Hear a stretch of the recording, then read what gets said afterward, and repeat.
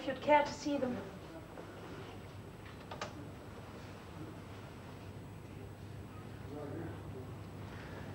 Tesman and I visited the Tyrol on our way home.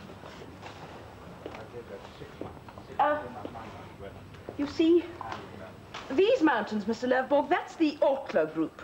You see, Tesman has written very carefully underneath the Ortler group near. Hedda Hedda Gabler. Yes, that used to be my name when we first knew each other. And from now on, for the rest of my life, I must teach myself never to say Hedda Gabler. Yes, you must. You'd better start getting into practice. The sooner the better. Hedda Gabler married. And to George Tesman. yes, well, that's life. Hedda. How could you throw yourself away like that? Stop it. and this, Mr. Lovborg, is the view from the Ampezzo Valley. Look at those mountains. What did you say those curious mountains were called, dear? Mm, oh, those are the Dolomites. of course. Those are the Dolomites, Mr. Lovborg. I just came in, Hedda, to see uh, if, if uh, we could bring some punch in here. No, uh, a glass for you, anyway. Right? Well, thank you. Yes.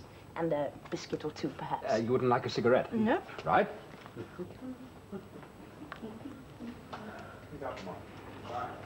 Answer me, Hedda. How could you do it? If you go on calling me Hedda, I won't talk to you anymore. Mayn't I even when we're alone? No, you can think it, but you mustn't say it. Oh, I see.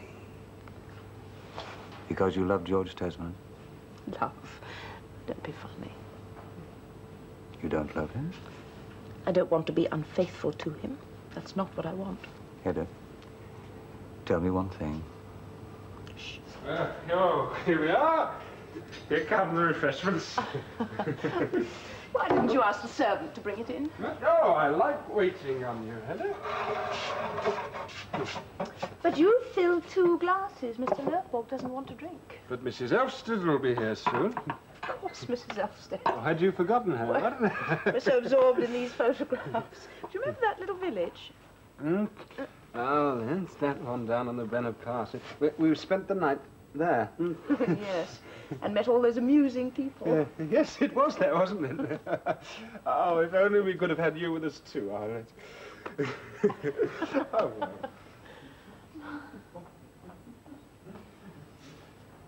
Tell me one thing, Hedda. Yes. Didn't you love me either? Not just a little? Well, now, I wonder. No, I think we were just good friends. You certainly poured your heart out to me. You begged me to.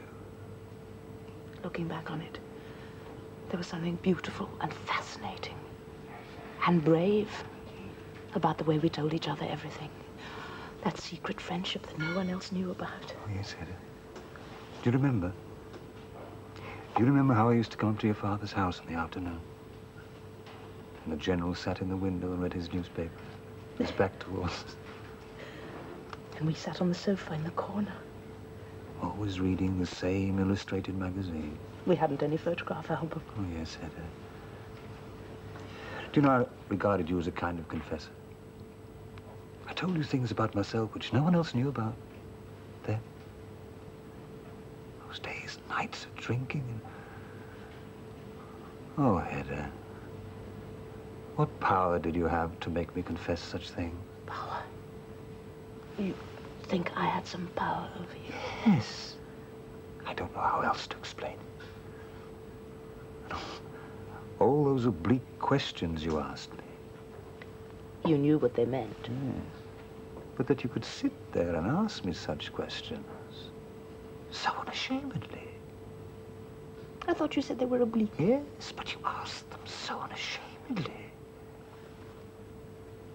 that you could question me about that sort of thing. You answered willingly enough. Yeah. Yes, that's what I, that's what I can't understand looking back on it. But tell me, Hedda, what, what you felt for me then, wasn't that love? When you, you made, you asked me those questions and made me confess my sins to you, wasn't that because you wanted to wash me clean? No, not exactly. Why did you do it then? Do you find it so incredible that a young girl, given the chance to do so in secret, should want to be allowed a glimpse into a forbidden world of whose existence she's supposed to be ignorant? So that was it. One reason, one reason, I think. You didn't love me then? It's just knowledge you wanted. But if that was so, why did you break it off? That was your fault. It was you who put an end to it. Yes, when I realized that our friendship was threatening to develop into some something else. Shame on you, Eilert Lovborg. How could you abuse the trust of your dearest friend? Hedda, why didn't you do it? Why didn't you shoot me dead as you threatened to? I was afraid scandal. Yes, Hedda. You're a coward at heart. A dreadful coward. Luckily for you. Well, now you've found consolation with the Elvsteds. I know what Thea's been telling you. I dare say you told her about us. Not a word. She's too silly to understand that kind of thing. Silly. She's silly about that kind of thing. And I'm a coward. But let me tell you something. Something you don't know. Yes? My failure to shoot you wasn't my worst act of cowardice that evening. Oh. Hedda Gabler. Now I see what was behind those questions. Eh? Wasn't knowledge you wanted. It was life. Take care. Don't you delude yourself.